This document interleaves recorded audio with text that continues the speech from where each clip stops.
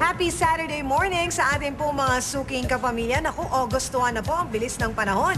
Ako po ang inyong negosyo diva, Ami Perez. At ako naman po ang inyong partner sa pag-asenso, Gilbert Remulla po. Kamusta naman po sa ating mga kababayan dyan sa Nueva Vizcaya at sa lahat ng mga nanonood sa atin through the Filipino channel around the world. Impormasyon at inspirasyon po ang hatid namin sa inyong lahat ngayong umaga. Dito lamang po sa Kabuhayang Swak na Swak. Paggawa ng personalized perfume at cologne, yan naman ang ituturo sa atin ng First Lady ng Taguig.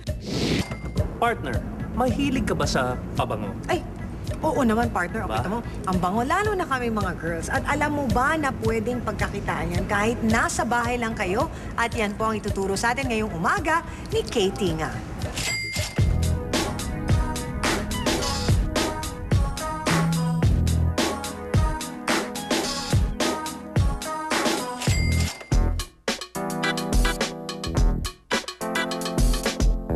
Isa lang sa mga livelihood projects ng Taguig City ang paggawa ng personalized perfumes.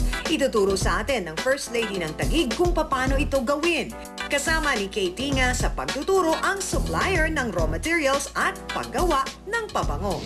Sa paggawa ng pabango, ito ang mga raw materials na kakailanganin natin. Polyfix, fragrance oils, deodorized ethyl alcohol, purified water, FD&C colorant, at syempre yung packaging. Kasama natin ngayon si Weng ng Swiss Fragrances at ngayon gagawin na natin ang ating pabango.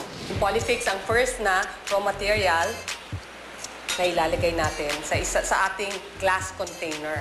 Susunod ay ilalagay na natin ang fragrance oil sa ating polyfix. Ethyl alcohol na ang idadagdag natin. At kapag nahalo na, tsaka idagdag ang purified water tapos patuloy na haluin.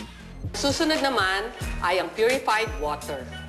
At ang huling sangkap ay ang FD&C colorant. Ibig sabihin yan, Food, Drug, and Cosmetic Colorant. Approved siya and safe for human beings. Nasa sa atin ngayon kung anong klaseng packaging ang gusto natin. Pwedeng bote, syempre nagtitipid, plastic, nasa sa na yan. Pagkatapos mahalo, pwede na itong ibotelya. Tip lang namin sa inyo para lalong humalimuyak ang ganitong business, dapat na mamuhunan sa magandang packaging para maibenta ng mabilis ang produkto. napakadaling pagkakitaan. Kung ito ang ating produkto, ang puhunan ay 25 pesos hanggang 30 pesos lamang. Pwede nating ibenta ng 50 or 60 pesos, 100% ang kita natin. Dami ng kababaihan dito ang kumita sa paggawa ng pabango at cologne. Kung kaya nila, kaya to.